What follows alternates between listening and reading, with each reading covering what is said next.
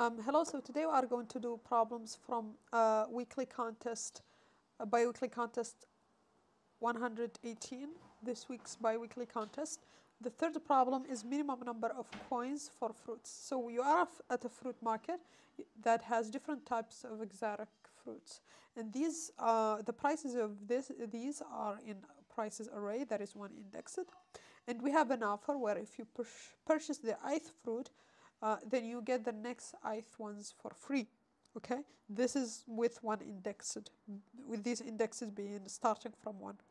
Uh, the goal of the problem is to return the minimum number of coins that we need to acquire all the fruits.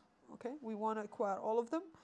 Uh, there is one condition here is that, or one like detail, which is you can take fr fruit at a position for free if you let's say bought a previous one and still and so have some remaining uh, from your offer there. But you could choose also to uh, buy it so that you can get the next i ones for free. Okay so there is a choice. Even if you can get it for free you can still buy it. So if we take a look at the first example here uh, we could for example buy the first fruit with price of 3 and the, so we get the next one for free. We get one more fruit for free. And so we could decide to get this one for free and then buy this one. But that would mean we get total of five. The second option is we could buy this one for three. Then next one even though we could get it for free we could buy it so that we get like the one at the two because this index two we could get the next two for free and so we get this one for free. So now the cost is three plus one which is four which is smaller and so that's the strategy that we can take here. Okay so that's the problem. Um, and what's interesting here in the condition is that the maximum number of fruits is just 1000 so this means we could technically do something uh, that is um, th that is uh, more than open, right? So let's see how we can tackle it. Um, okay, so how do we tackle this? Well, this one is a, on the easier side because for each position, what do we have? We have only two choices, right? We can take it, buy it, or get it from free if we have it from an offer uh, from a previous one that we bought. So either buy it or get it for free if if from um, from previous buy we have we have some remaining values. We have an offer. Okay? So what does this mean? Okay? So the, the main thing to, to think about here is if we have 3 1 2 the indices start at 1 so we have 1 2 3 so the options are first buy this one 3 and then you get the next one for free and then you get the third one uh, the third one you have to buy it. So that's 5 the second option is you got three, and then the second one you buy it, even though you could get it for free because that's an option. But why do we buy it here? We buy it so that we can have I fruits, I next fruit, which is two fruits next that we can um, that we can get for free. So that would be plus. Uh, basically, this one we get it for free. So pretty much four.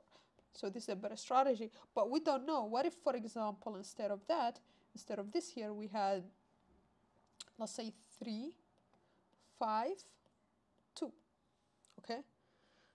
Um, then in this case, if we take this strategy, then we will have 3 plus 5, which is 8. But if we take this strategy, which is buy this one, get this one for free, and then buy this one, then it's 5. So this one is better. So there is no way we can sort of know here. So it's easier, especially since the bounds are small, just up to 1,000 then it's easier to just try all options, right? And so this is sort of like a recursive dynamic programming approach that we can do here because for, let's say for buy with, a, with an index of i, we have only two choices each time. We can either buy, decide to buy, or decide to skip. But when do we know if we get it for free? From the previous position, we need to keep track of how many we can get for free. And so let's call that offer count or the remaining offer, right? So that we can know if we can get it for free, so we can try that option. And so for each one of these, well, let's call this actually helper just to make this. So if we do that, then helper has, for the next position, has only two choices. So we can either buy the current one, so that would be prices at i plus. For the next position, we will call it on i plus 1. What's the remaining offer? Well, we are told that at each position, we can get the next i ones. So that's what we do. We pass i because we can get the next i. Now, what about can we get it for free? Well, we can only get it for free if the remaining offer is bigger than zero. So if the remaining offer is bigger than zero, then in that case, we can get this one for free. What does mean get for free? It basically means that we don't pay anything, so we don't add the prices at position i, so we just do a helper at i plus 1. Now, what's the remaining offer in this case?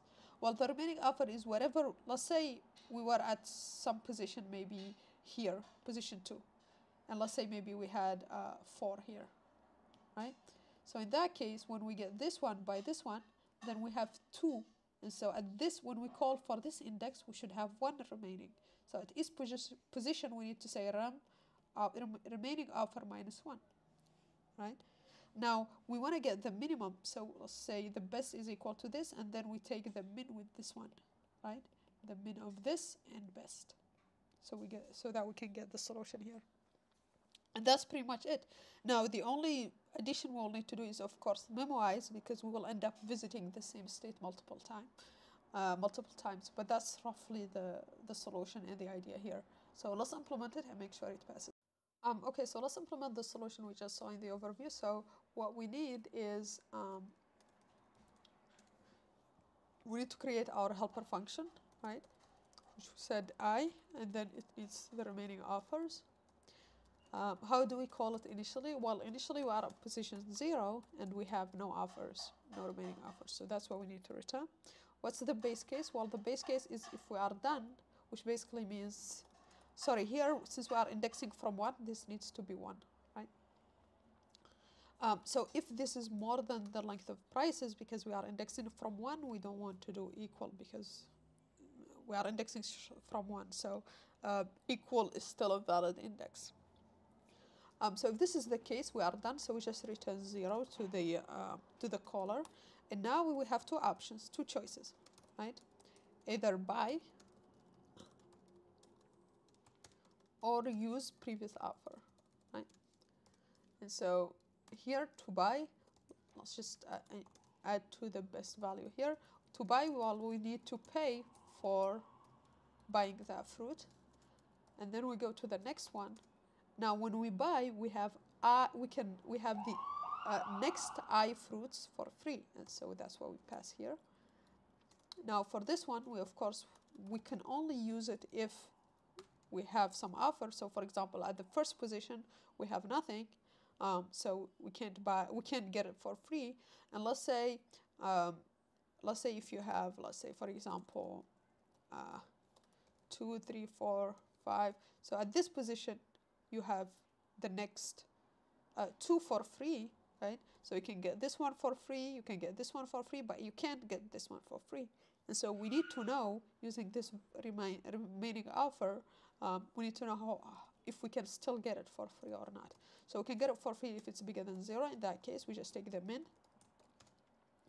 Um, and then we call for next one and then remaining offer minus one, right? Because we just used it um, and even if we didn't use it, we'll still need, um,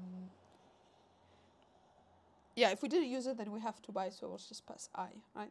And so here we need to just return that best value, okay? And that should be it. Now we said that we need to memorize You can choose to use either a hash map or in Python, uh, the easiest option is just to use a cache, okay? Um, so let's run this. Uh, looks like there is a slight problem because the index for this is out of range. Well, this is because uh, the problem says it's one indexed, but still Python array need to have to be zero indexed. So we just need to subtract minus one. And we can submit.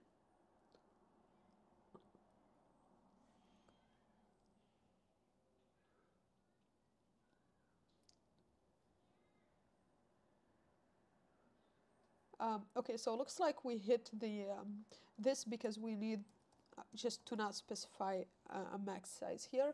So we can do that like this. It would be easy if you if you wish to. You could use just a memo here, a hash map, and then you would check if this i position was already computed. If there is, you will return the value. Otherwise, you will uh, compute it and then set uh, at position i set the value to best, right? Um, but yeah, this solution passes. Um, yeah, so that's pretty much it. Um, if you need one-on-one coaching for LeetCode problems and coding interview prep, uh, schedule a session one-on-one with me on SuperPeer. Uh, thanks for watching and see you on the next one. Bye.